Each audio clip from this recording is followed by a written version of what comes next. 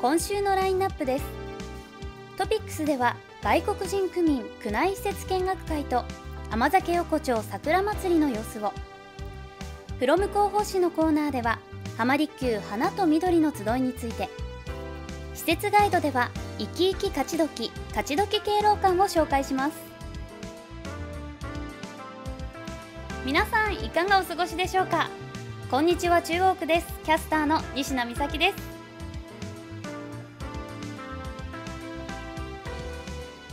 月25日に東京で桜の開花が発表され先週中央区内でも次々と開花し見頃を迎えました。撮影した4月1日には江戸桜通りや桜川公園佃公園などの桜スポットで家族連れがお散歩がてら桜を眺めたりお花見をする様子が多く見られました。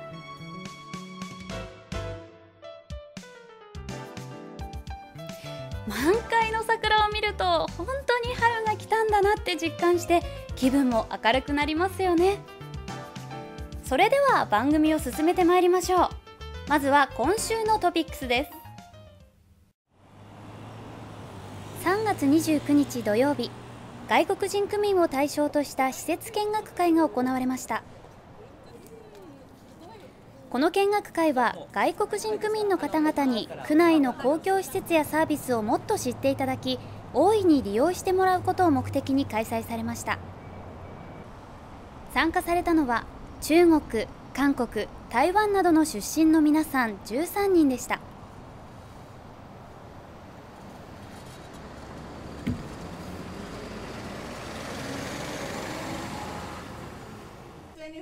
最初に訪れたのは郷土天文館タイムドーム明石です。常設展の入り口にある江戸時代の地図を使って学芸員が中央区の歴史を解説しました。スタッフの通訳で参加者は感心したり驚いたりしていました。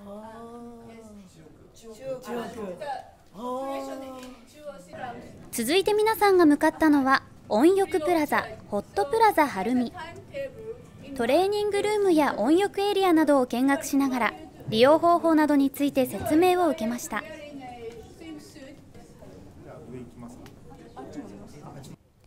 屋上では湾岸エリアの景観を堪能するなど参加した皆さんは見学会を楽しんでいました。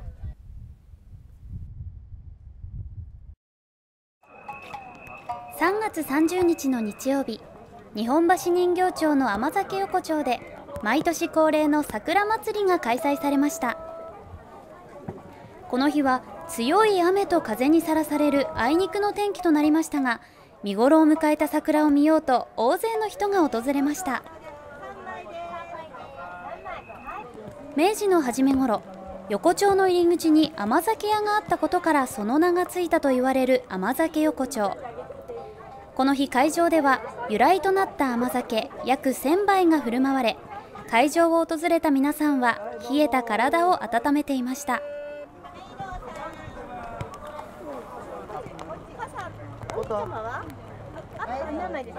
また甘酒横丁商店街のお店の品物などが当たる福引きも行われ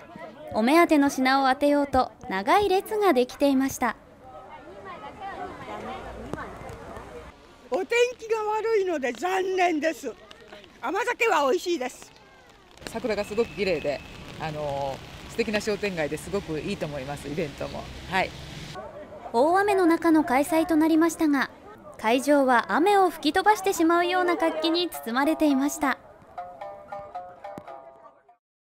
ここまで区内の話題を2つお伝えしました。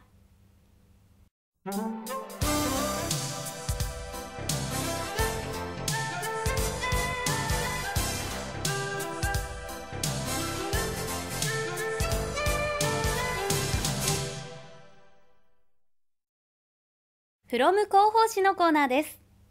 このコーナーでは区のお知らせ中央に掲載された記事の中からピックアップしてお伝えします。今回は4月1日号の一面に掲載された浜離宮花と緑の集いについてお伝えします。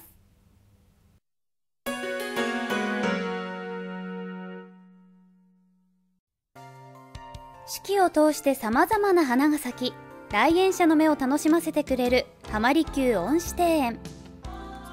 撮影した時はソメイヨシノが満開となっていましたが4月中旬頃からは八重桜が見頃を迎えます。そのような浜離宮恩賜庭園の素晴らしさをより多くの区民の皆さんに知ってもらおうと毎年行っているのが浜離宮花と緑の集い。5月6日までの期間中中央区民の皆さんは入園整理券の提出で無料で入園することができます。また期間中は開園時間を午後6時まで延長しています。なお各出入り口の利用時間はご覧の通りとなっています。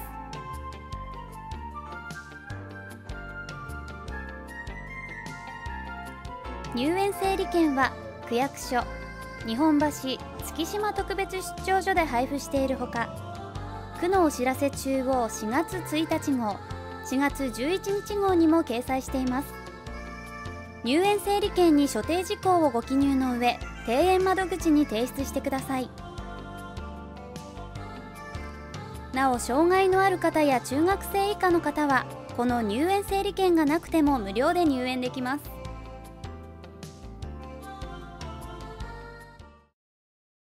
浜離宮花と緑の集いについて詳しくは区役所総務課総務係まで。また所在地や園内については浜離宮恩賜庭園サービスセンターまでお問い合わせください。さて続いては施設ガイドです。今週から3週にわたり生き生き感をご紹介します。1回目となる今回は生き生き勝ち時勝ち時敬老館に行ってきました。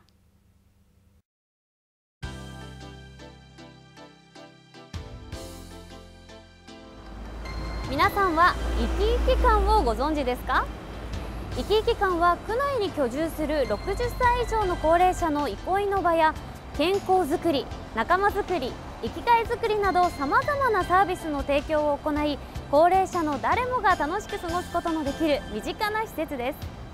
す。中央区には生き生き桜川生き生き浜町生き生き勝ち時の3カ所があります。その中で今回は生き生き勝ち時をご紹介したいと思います。それでは行ってみましょう。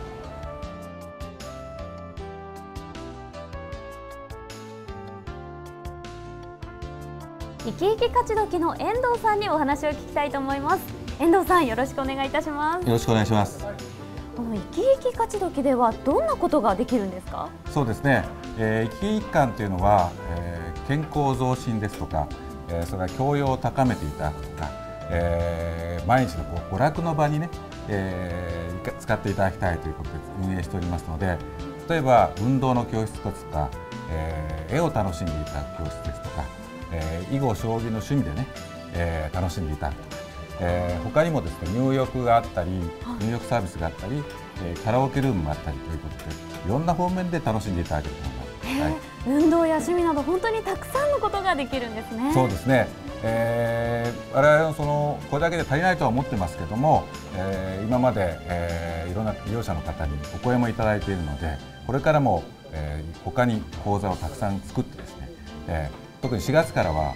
フラダンスの講座も増えますし、えーえー、いろんなエクササイズの講座もまだ増えますので、ぜひ皆さんに、えー、来ていただきたいと思ってますね。はい。楽しみですね。はい。こちらの部屋で行われているのは生き生き運動ということですが私も参加させていただきたいと思います。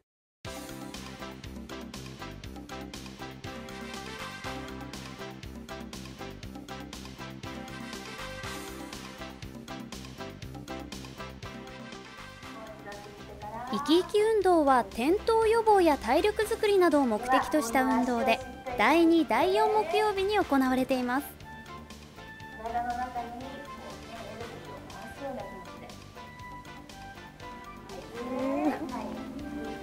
初めにボールを使った運動に挑戦しましたこちらは脳と神経筋肉を連動させて体を思い通りに動かす運動なのですがこれが意外と大変なんです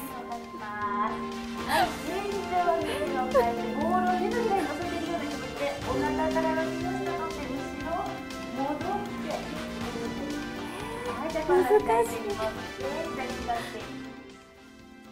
こちらは転倒予防の運動です。膝下の筋肉の強化や血液の流れを良くする効果もあるそうです。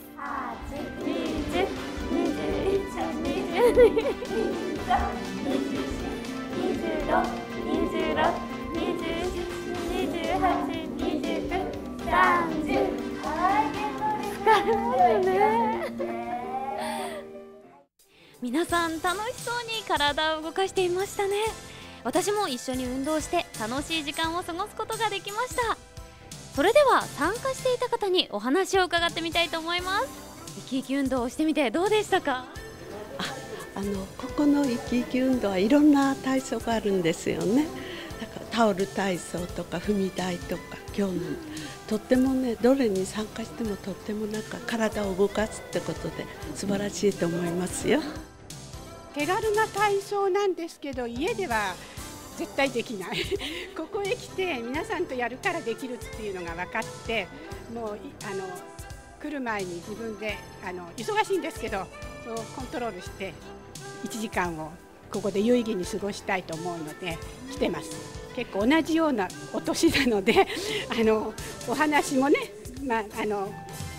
ここが痛いのよとか あの、ね、足が悪いのよとかっていうお話だとか健康の話なのですごく勉強になるし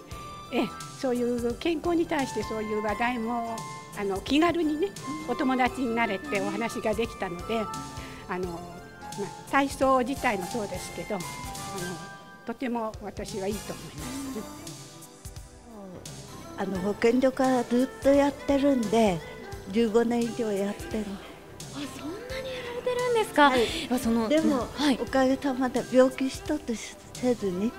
健康で過ごしております。先生も優しいし健康にもいいからずっと続けてこられたんですね。そうですね。おかげさまで病気しないで。あのこれからもずっと続けて病気をしないで健康で頑張ってください。ありがとうございます生き生き館は区内在住の60歳以上の方なら初回利用時に登録をすれば利用することができます。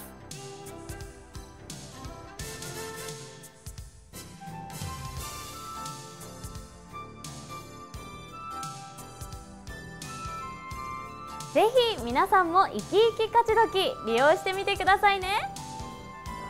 一緒に体操をしましょう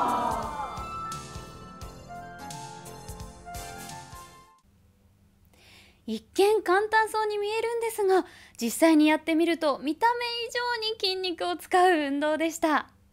参加している皆さんの笑顔がとても印象的でした。以上施設ガイドのコーナーでした。